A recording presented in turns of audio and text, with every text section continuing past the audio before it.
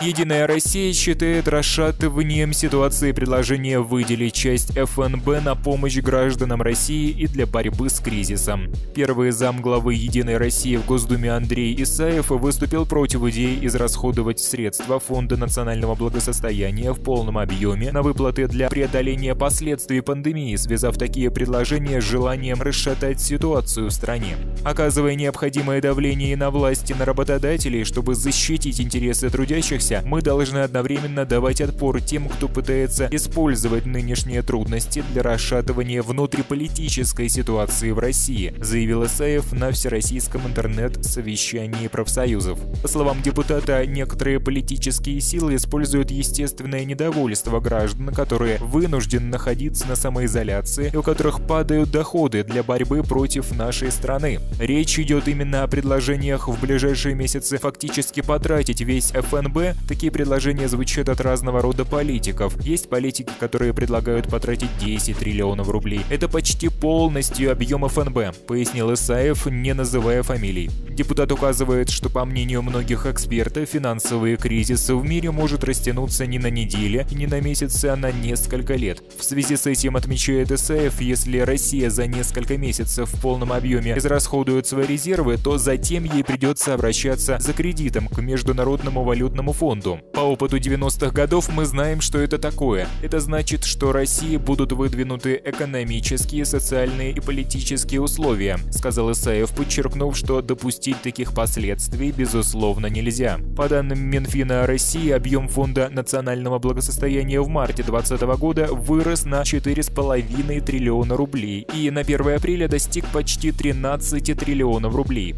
Ранее министр финансов России Антон Силуанов заявил, что Минфин в 2020 2020 году потратит на поддержку российской экономики около 2 триллионов рублей из ФНБ. По словам министра, объем средств, направленный на сдерживание распространения коронавируса и сглаживание последствий для экономики, составит около 3% ВВП. Общий объем фискальной поддержки населения отдельных отраслей сфер деятельности российской экономики оценивается более чем в 6,5% ВВП. Он также заявил, что России в этом году придется существенно нарастить заимствование, чтобы чтобы покрыть выпадающие из ограничений, связанных с коронавирусной инфекцией, доходы бюджета. Более триллиона рублей дополнительных средств заимствований пойдет на выпадение не нефтегазовых доходов, сказал министр, отметив, что бюджет в стране в нынешнем году окажется дефицитным.